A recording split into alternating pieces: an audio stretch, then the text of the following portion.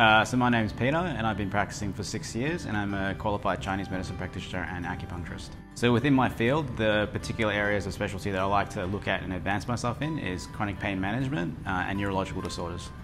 Uh, what motivated me to do Zhu scalp acupuncture is it's just a complement to all the other courses that I've done. It, it seemed like it was the cherry on the top for everything else to complement my practice.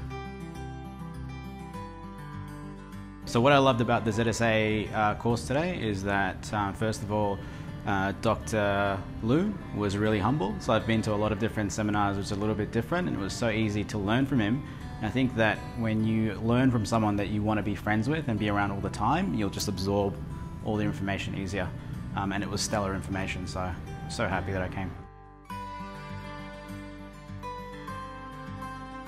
Zhu scalp acupuncture is important to my practice because it'll advance the uh, skills that I have for my clients um, and get them better results faster um, and allow me to treat more complex disorders. Unlike any other courses actually out there, um, and the skill set that you, you have um, or that they've given us is actually very niche and allows us to treat conditions that uh, can't really be treated by other uh, modalities or other um, training styles, so it, it doesn't hurt to do something that's so advanced to treat advanced complex disorders.